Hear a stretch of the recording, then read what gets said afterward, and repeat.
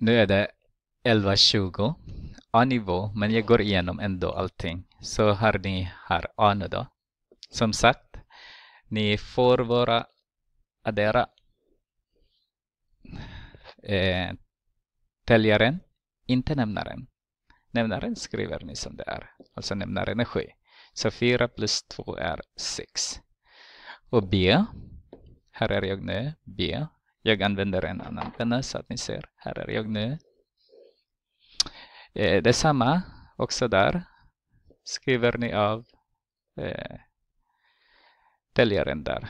Och sen räknar ni där eh, uppe eller det, nämnaren. 5 minus 2 är det 3. 3 åttondelar.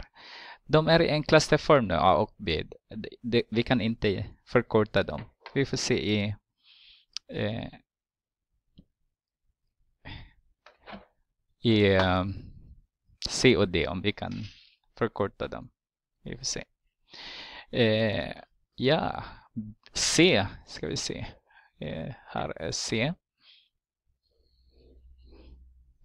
Vi har C där då. Har vi 18 som är nämnaren. Och har vi 11 minus 5, vad blir det nu då? 6.